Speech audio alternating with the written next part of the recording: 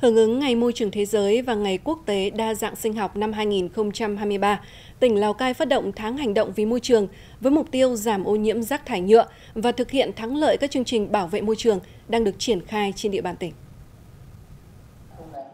Trong bối cảnh ô nhiễm rác thải nhựa là vấn đề cấp bách, Ủy ban nhân dân tỉnh Lào Cai đã ban hành đề án giảm thiểu ô nhiễm môi trường do chất thải nhựa giai đoạn 2020-2025. Qua đó thể hiện rõ sự quyết tâm của tỉnh trong việc quyết liệt thực hiện các chính sách và giải pháp kiểm soát ô nhiễm môi trường do chất thải nhựa. Tại lễ phát động, lãnh đạo tỉnh Lào Cai đã chỉ đạo các cơ quan chuyên môn, các huyện, thị xã, thành phố tăng cường vận động nhân dân cùng có trách nhiệm trong công tác bảo vệ môi trường, cương quyết xử lý các đơn vị, cá nhân gây ô nhiễm môi trường, sau lễ phát động, Ủy ban Nhân dân tỉnh Lào Cai đã tổ chức hoạt động chạy vì tương lai xanh với thông điệp mỗi bước sải một quyết tâm xanh nhằm lan tỏa quyết tâm bảo vệ môi trường trong cộng đồng cùng hướng đến cuộc sống xanh hơn, sạch hơn, đẹp hơn trong tương lai.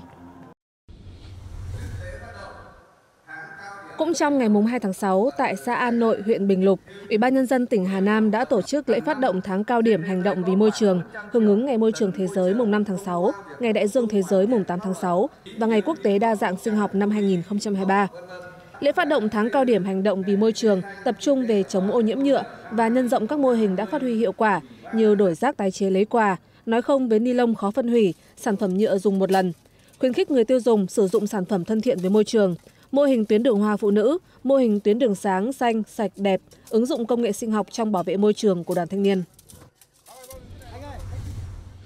Tại Ninh Bình cũng diễn ra lễ phát động hưởng ứng Ngày Môi trường Thế giới, Tuần lễ Biển đảo và Hải đảo Việt Nam, Ngày Đại dương Thế giới năm 2023. Tại lễ phát động, Ninh Bình kêu gọi nhân dân và các đơn vị tập trung tăng cường sự lãnh đạo, chỉ đạo, nêu cao trách nhiệm của người đứng đầu cấp ủy, chính quyền địa phương, cơ quan, đơn vị trong thực hiện các nhiệm vụ bảo vệ môi trường, có những hành động thiết thực xây dựng lối sống bền vững, hài hòa với thiên nhiên, kiểm soát, giải quyết ô nhiễm rác thải nhựa, tăng cường tái chế, tái sử dụng, xác định nhiệm vụ bảo vệ môi trường cũng như bảo vệ chủ quyền vùng biển, hải đảo của Tổ quốc là công tác quan trọng của toàn Đảng, toàn dân, toàn quân và cả hệ thống chính trị.